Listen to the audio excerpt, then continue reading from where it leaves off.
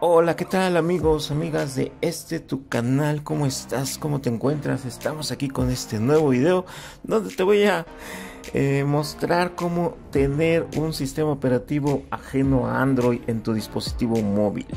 Bueno, pues vamos a, a darle aquí, vamos a entrar aquí a la aplicación. Ya los tengo descargados.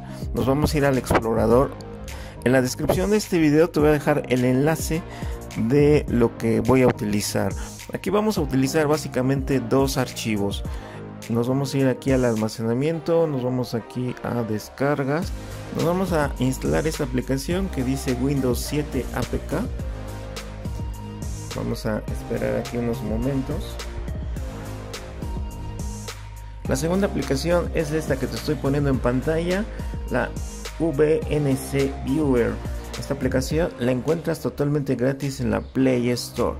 Bueno, pues ya hemos... Una vez que ya nos instalamos los dos programas, las dos aplicaciones, bueno, pues ya tenemos aquí el icono de Windows 7 Ultimate.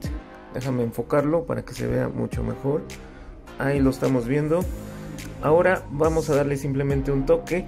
Nos va a aparecer esta, esta pantalla, este aspecto, así como que no pasa nada, no sale nada. Tú simplemente mantén presionado tu dedo sobre la pantalla, va a salir esta opción. Vamos a darle donde dice clique aquí. Le damos ahí un toque. Aquí vamos a darle el toque en la primera opción que dice abrir en VNC o VNC Client. Y nos va a llamar a la otra aplicación que hemos instalado, que hemos, hemos descargado. Aquí simplemente le damos un OK. Aquí nos va a salir esta pantalla donde le vamos a dar un OK también.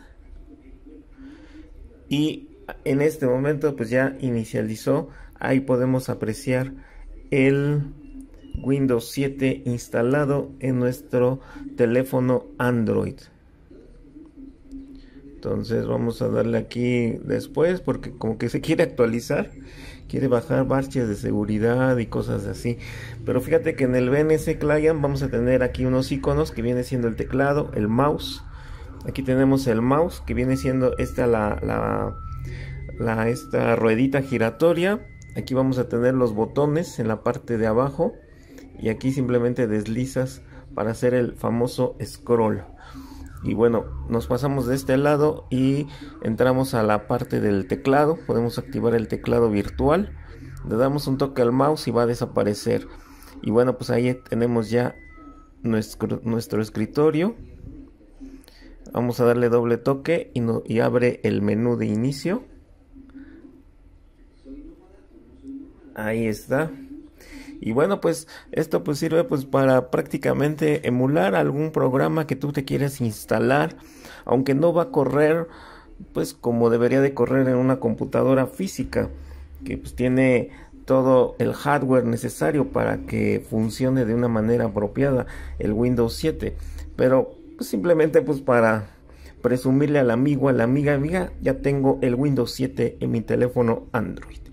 Y bueno, pues espero que te haya gustado este video. Si es así, dale un super poderoso, un buen like.